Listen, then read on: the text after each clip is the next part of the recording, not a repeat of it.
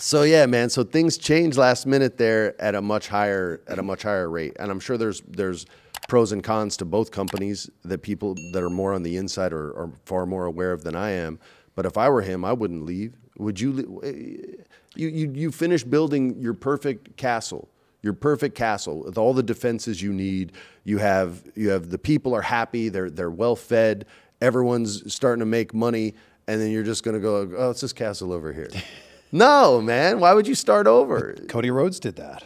Uh, yeah, but I think Different Cody's situation. an older guy with kids and had different priorities than than what a young 20 how old is he 24 25 26 27 somewhere in there mid 20s I mean your your your priorities and the way you look at the world is completely different in in their in that age gap between the two men. I remember saying like years ago. So when when someone was getting released from WWE, it would always be like, "Are they going to sign to AEW? They're going to sign to AEW." Right. And I said, one day somebody is going to do the opposite. One day somebody's going to go from AEW to WWE, and nobody's talking about that. I think- little did I know it was going to be Cody Rhodes. Yeah, and I, people are talking about like Kenny Omega now and things like that. But again, that would just seem so weird to me considering how much freedom he has at one company and how little he would have at the other. There's trade-offs, I guess, right? Like Sure, it's, but it's at that level, they're all making money. They're all making good sure. Mm-hmm. money. You know what I mean? Like it's not it's not like the old days. If you're a mid to top guy, you're making good money. Yeah. Uh, I, I feel like Cody's path has been very interesting.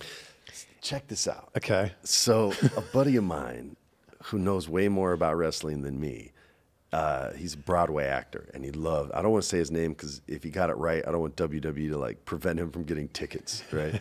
but he's he's so cool, and he loves wrestling, and he hits me up after Cody lost at Mania, and he goes, "What if it wasn't Vince that made him lose?" I said, "Okay," and he said, uh, "He goes, what if when he talked to Triple H, and he says, and you know Triple H is a student of the game. Like he knows every storyline that's ever been told. He loved all those old guys. Yeah. He said, what if the plan was for him to lose all along and they recreate the Dusty Rhodes Hard Times storyline? Mm. So for the whole year, Cody's just getting effed time and time, and it takes him a year to earn his way back until, the very next WrestleMania And Roman's the champ and all Roman's the way. Roman's the champ all the way. And you and so I was like, well, what happens at Backlash? He goes, Brock squashes him. Brock kills him, and I go, dude, you don't think it kills the character? He goes, if they're doing the hard time story, it doesn't, because that's what Magnum TA did to Dusty on his mm. road to the top. And I'm sitting there, I'm, and he pitched it so nice. And I, if I could do my impression of him, it, I could do the whole story, but Yeah. that would give away who it is. Um, but it was just his pitch was so good. I was like, I'll be damned if they're not. I'm, and I'm completely convinced now that that's what's going to happen. So watch Backlash.